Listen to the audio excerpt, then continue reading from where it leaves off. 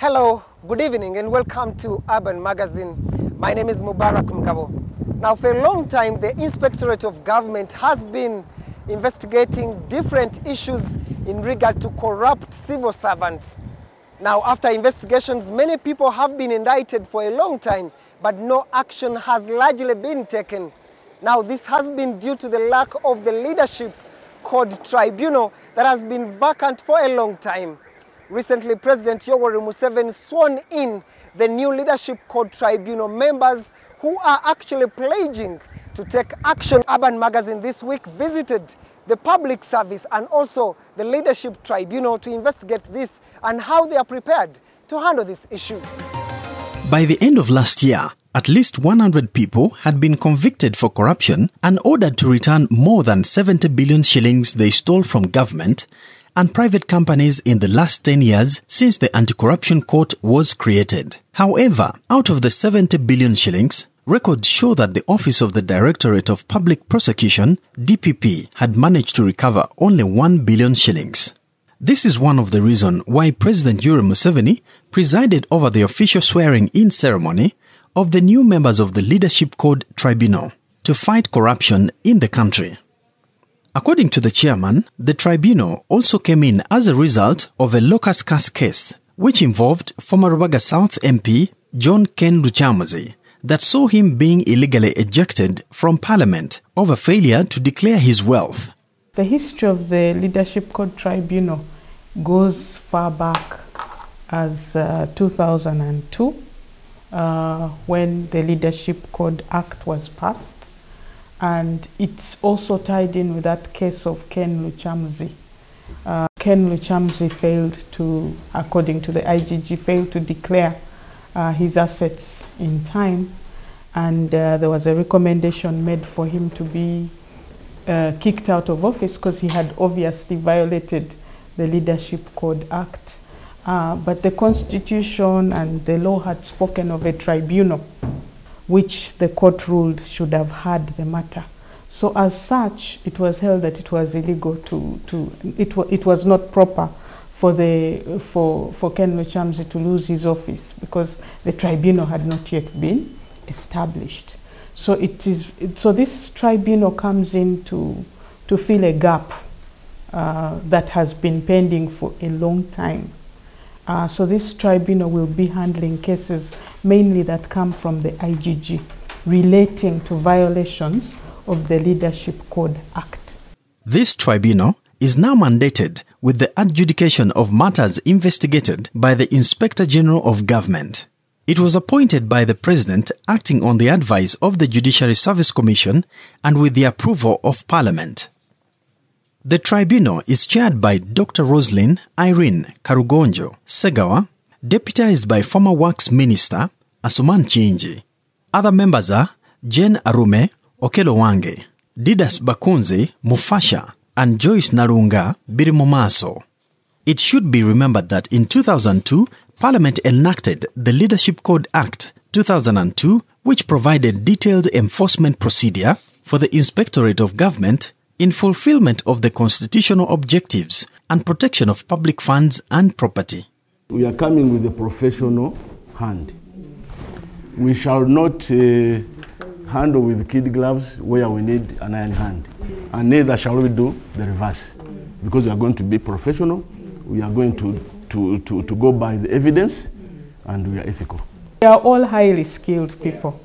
Uh, we come from different backgrounds, but we do have the skill set to deliver. Uh, we, and we are determined to deliver. We've uh, investigated, personally, I, have, I worked with the Uganda Human Rights Commission for over 12 years, where I was investigating violations of human rights. And human rights violations are usually by state officials.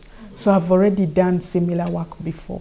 On 3rd December 2019, the New Vision published Uganda's big corruption scandals, which had happened in a period of five years since 2007.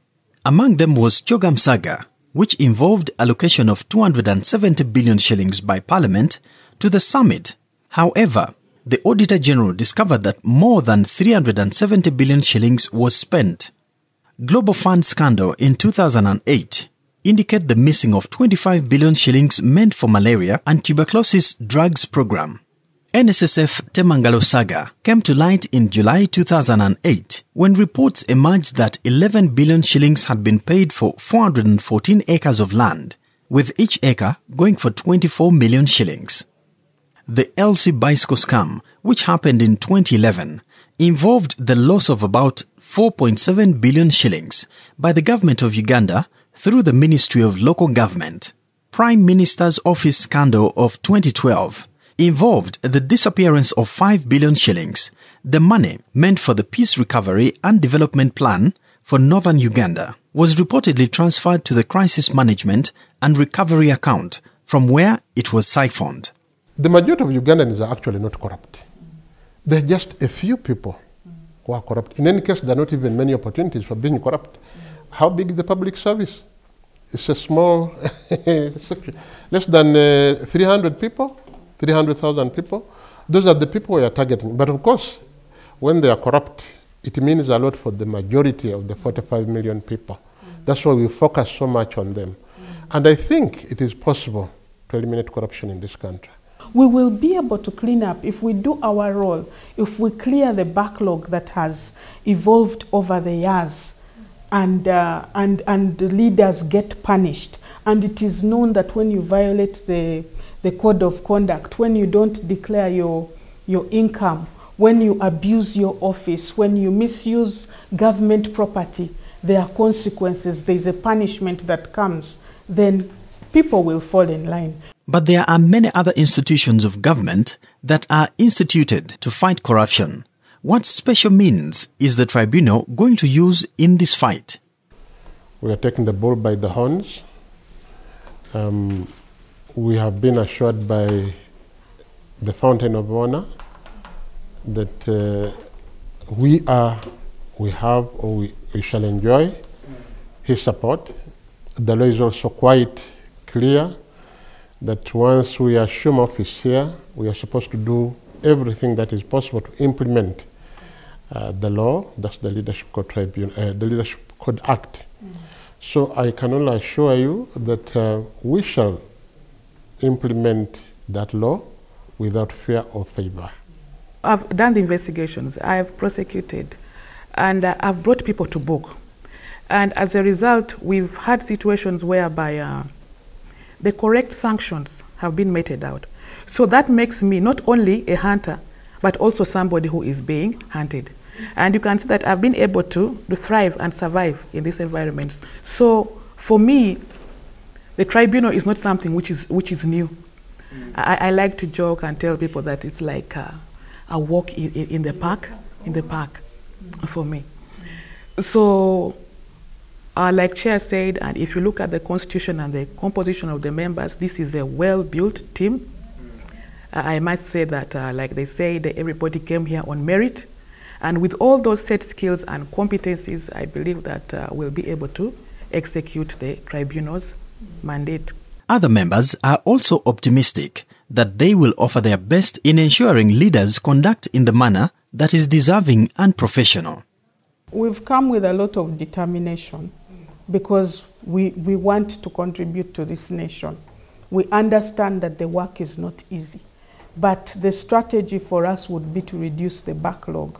We are not the magic bullet that is going to resolve every corruption uh, incident in this country. What is going to come from, from, from, to us is going to come from the IGG.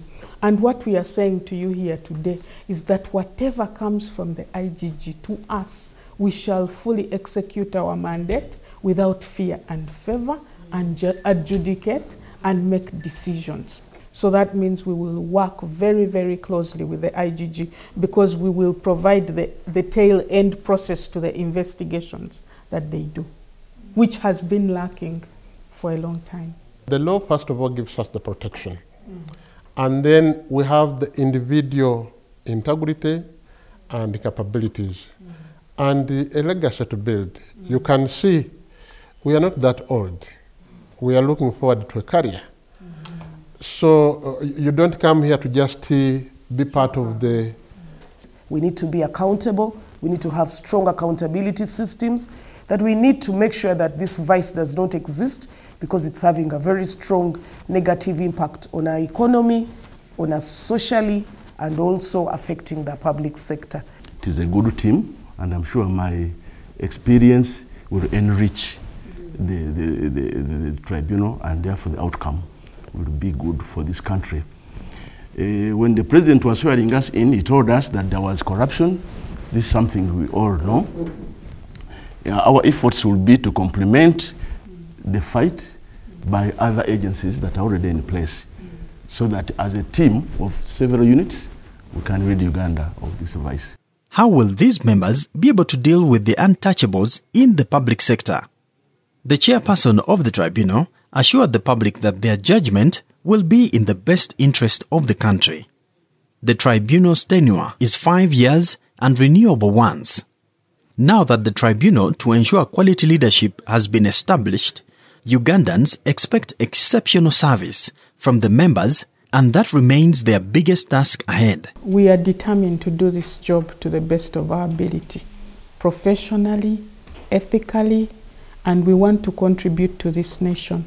As you've heard, we come with diverse skills. We have a registrar who's had tremendous experience organizing tribunals and making sure cases are heard. All the members bring special bring a special skill set, a diverse special skill set, and we are ready to execute. We want Ugandans to know that we mean business. Now that Uganda has lost billions and billions of shillings in these errant civil servants, the Leadership Code Tribunal members are pledging that they are ready to take up this issue and make sure that they wipe out all the wrong elements in the civil service. Urban Magazine takes a short break. When we return, we want to investigate how other sectors are ready to wipe out wrong elements